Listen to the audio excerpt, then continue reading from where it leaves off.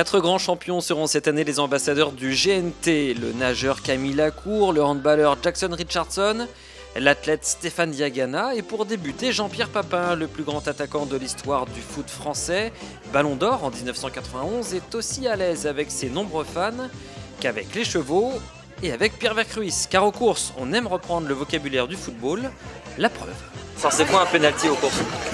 Un penalty, c'est comme dans le ballon, il n'y a, plus qu'à mettre au fond. C'est plus qu'à mettre au fond, non, je suis pas d'accord. C'est marquer un penalty Très difficile. Ah, il faut beaucoup de concentration, il faut être sûr de, sûr de soi, euh, chose qu'il a parfaitement maîtrisée aujourd'hui. C'est ça, ouais. bon, on a une autre expression, euh, je ne sais pas s'ils l'utilisent chez eux. Nous, c'est souvent des fois, un penalty sans goal. Ah ouais, Parce qu'on était capable de le louper. nous, euh, ben nous, on n'a pas, malheureusement, on a un gardien et il fait tout pour arrêter le penalty. Ben nous, et souvent, ils sont 17 pour pouvoir nous arrêter. Et une papinade, c'est quoi aux, aux courses Une papinade, c'est Il y en a quand... On cherche pas, il y en a pas. Il y en a, il y en a, il y en a. C'est quand euh, on- euh, un concurrent pense qu'on va l'attaquer d'un côté et puis on fait une feinte, on l'attaque de l'autre. T'as déjà fait ça, Pierre? Oh non. Oh, sûrement.